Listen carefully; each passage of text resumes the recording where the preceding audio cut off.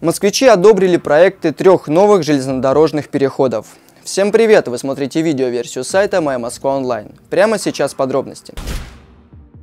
Проекты планировок трех новых пешеходных переходов на Савеловском и Курском направлениях Московской железной дороги были одобрены жителями города. Об этом сообщили во вторник в пресс-службе председателя Моском архитектуры Юлианы Княжевской.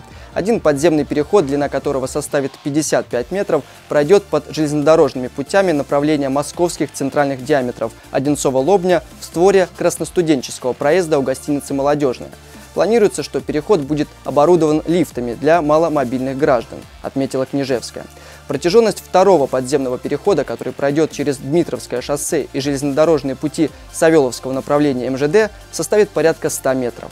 Третий подземный переход в створе улицы Медиков по направлению МЦД-2 на Хабино-Подольск запроектирован через Каспийскую улицу и железнодорожные пути Курского направления Московской железной дороги. На этом у меня все. Следите за новостями столицы на сайте mymsk.online.